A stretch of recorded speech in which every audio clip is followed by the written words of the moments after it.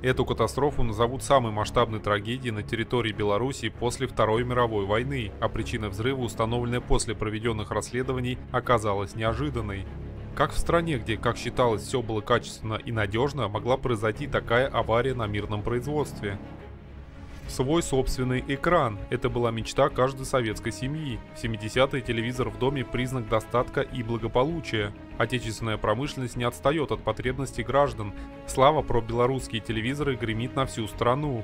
Минский радиозавод в 1972 году, сменивший название на «Горизонт», гордость не только Белоруссии, но и одно из самых крупных и современных предприятий всего Союза.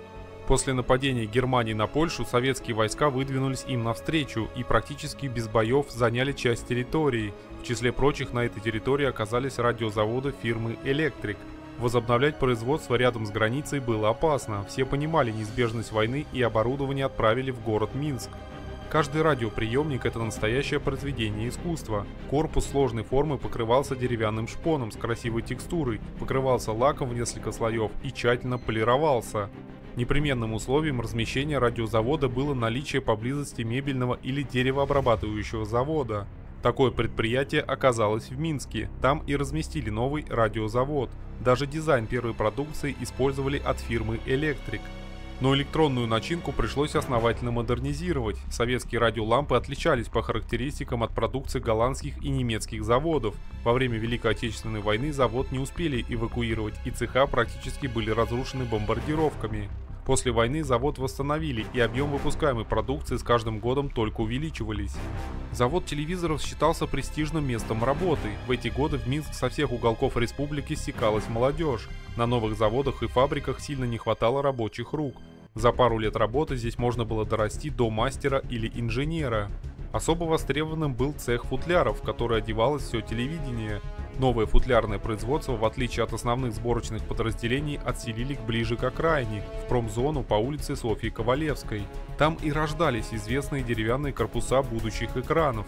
Людей трудилось в цеху очень много, около 800 сотрудников в смене.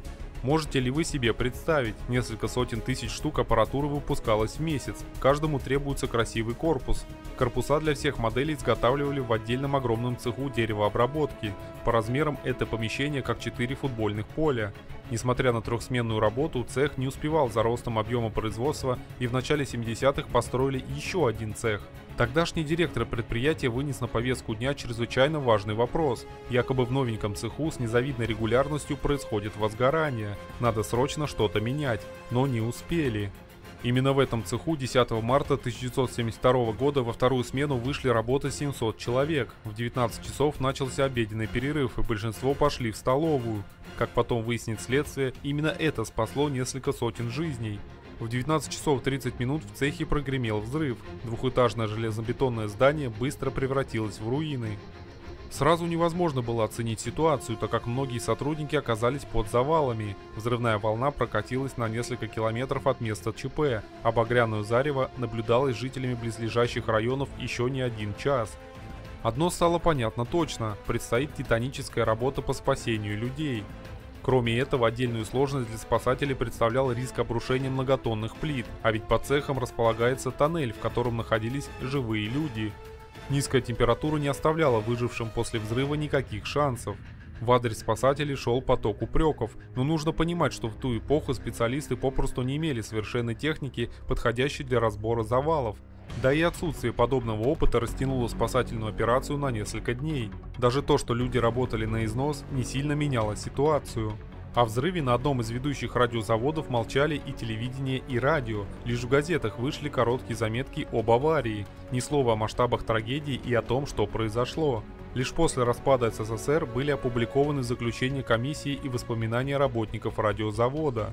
Первоначально выдвинули версию, что в подвалах завода могли храниться неучтенные боеприпасы времен войны. На это указывала сила взрыва, железобетонный корпус буквально размотало на клочья. Однако основная причина была в другом, и она, как мина замедленного действия, таилась и набирала силу. Позже расследование выявило целую цепочку факторов, приведших к аварии. Здание цеха корпусов проектировал Ленинградский 4 государственный проектный институт на основе типового проекта цеха для текстильного производства, так как по нормам пожарной безопасности этот проект полностью удовлетворял техническому заданию.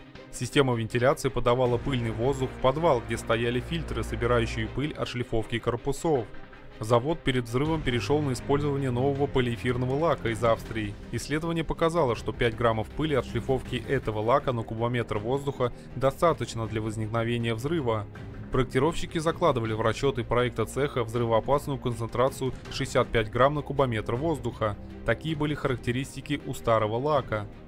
Цех строили авральными темпами и запустили в эксплуатацию с целым списком неустраненных замечаний приемочной комиссии. В плане производства не было резерва времени на устранение замечаний. Отложить запуск цеха директор не мог. Это срыв планов выпуска продукции и прощай должность.